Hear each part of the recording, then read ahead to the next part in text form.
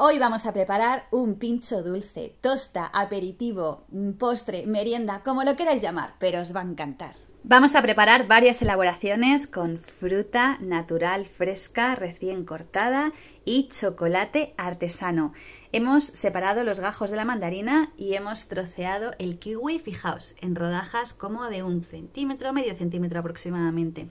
También hemos cortado plátano, y un poquito más de kiwi. Bueno, ponedme abajo en comentarios a ver qué fruta os gusta a vosotros acompañar con chocolate. ¿Y qué chocolate?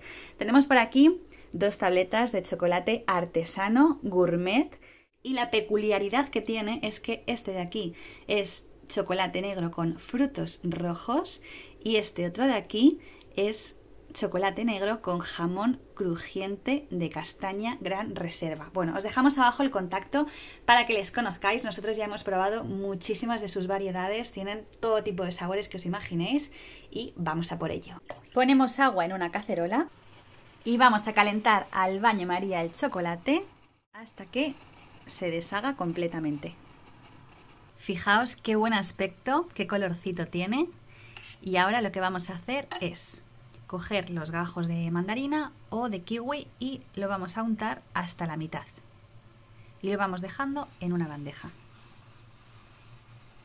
Mirad este chocolate cuando se derrite con el interior de frutos rojos, cómo queda de rico. ¡Wow! ¡Cómo huele! Impresionante.